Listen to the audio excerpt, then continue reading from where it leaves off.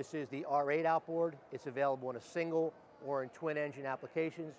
We've sold them both ways. They run great either way. If you like lots of power, this has it. We've got twin 250s, which is 500 horsepower on a 28 footer. This boat screams. So we'll take a walk up on the boat.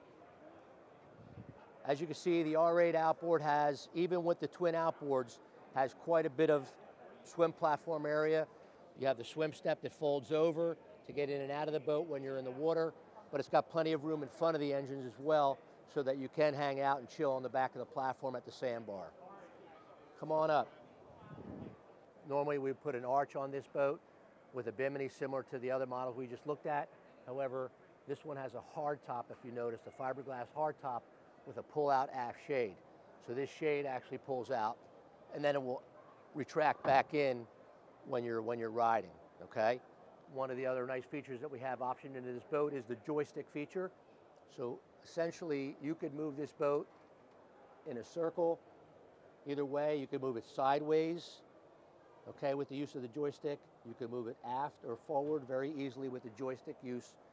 This model has the upgraded 8610 Garmin's, which are 10-inch screens, a little bit easier to use than the standard 7s. This particular model has a new windshield style this year. As you notice, it's, a, uh, it's got very little frame. It's mostly glass, which is great, easy to see through. If you come on up, this is another really uh, nice feature that uh, this model and the R6 have, is the seating in the front. One seat is a standard seat, which you can sit. The port side has a lounge seat, so you can lounge back. And then lastly, the I can just show you the, the helm area. The head's down inside here just as it is, just as it is the R6. R8 is, is a, a great model boat. It's, a, it's, kind of like the middle of the middle sizing, I guess, if you will, in the outboard lineup.